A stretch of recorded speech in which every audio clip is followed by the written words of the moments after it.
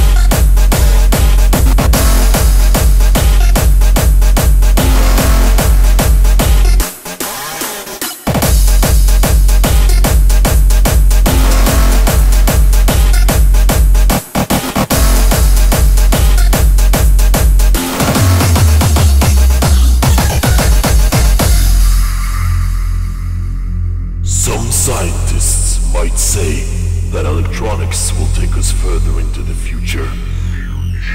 But we got stuck in the past.